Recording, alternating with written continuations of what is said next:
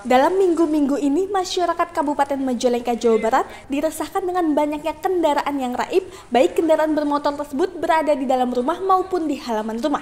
Namun, kini masyarakat Kabupaten Majalengka boleh sedikit lega karena aksi pelaku kejahatan curanmor sudah mendekam di balik jeruji Polres Majalengka. Tiga pelaku kejahatan curanmor dan dua orang sebagai penadahnya sudah dibekuk Satreskrim Polres Majalengka.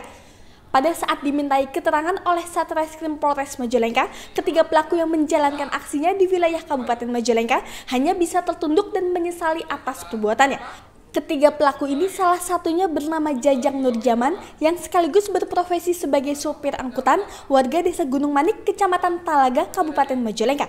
Dua tersangka lainnya berinisial FD dan YS, warga Kabupaten Cirebon, sedangkan satu orang penadah berinisial IA, warga Kecamatan Sindangwangi, Kabupaten Majalengka.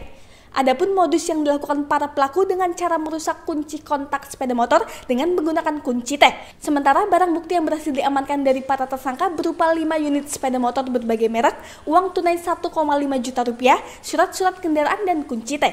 Guna mempertanggungjawabkan perbuatannya, ketiga pelaku dijerat dengan pasal 363 KUHP dengan ancaman maksimal 7 tahun penjara. Sedangkan untuk penadahnya dijerat dengan pasal 480 KUHP dan ancaman hukuman maksimal 4 tahun.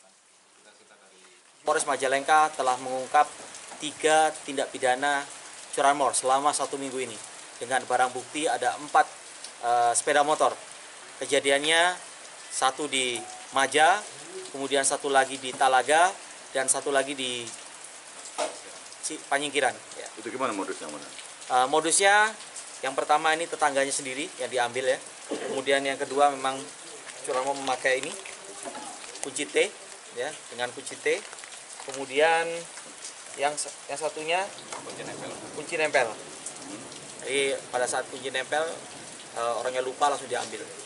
Alhamdulillah berkat kesigapan dan ketekunan dari anggota kita tiga pelaku curanmor bisa kita bekuk berikut penadanya. Ya, berikut penadanya selama satu minggu ini. Ya. pasal 363 KUHP dengan ancaman hukuman 7 tahun penjara. Kemudian ada ya dua yang kita jerat dengan pasal 480 yang bersangkutan menjual dengan harga 3 juta 150 kemudian dijual lagi dengan harga 3 juta setengah. Kita jerat dengan pasal 480 ancaman hukumannya 4 tahun penjara. Dari Majalengka, Jawa Barat, Edward Supendi, Tribrata TV, salam Tribrata.